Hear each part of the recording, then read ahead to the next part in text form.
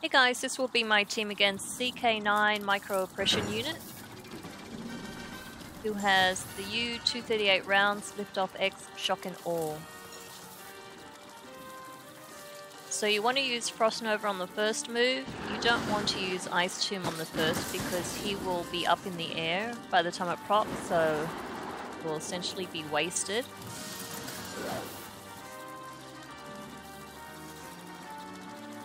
Then I'm going to switch to the second pet.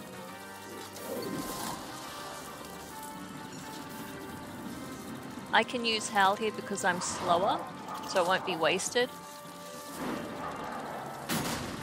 And it will also amp up the Ice Tomb.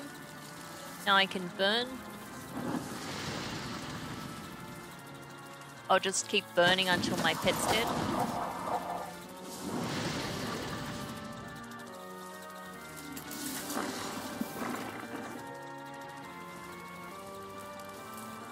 Okay, so to my third pet. Going to hit Thunderbolt. Decoy.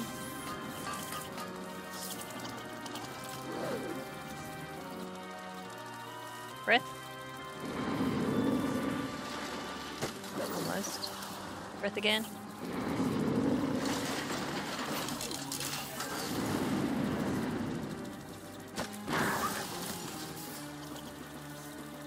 Now you just have to take out his last few hundred.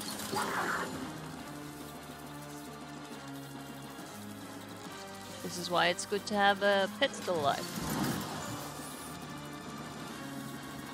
So I'm just going to set up Ice Tomb. I still have two moves left because I haven't actually died yet. I'll just throw out a Frost Nova.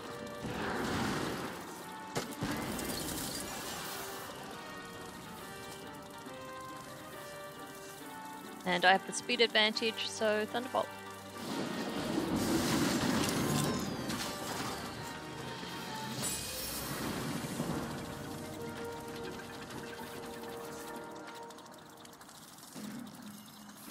So there you go. As usual, thanks for watching and I'll see you for the next video.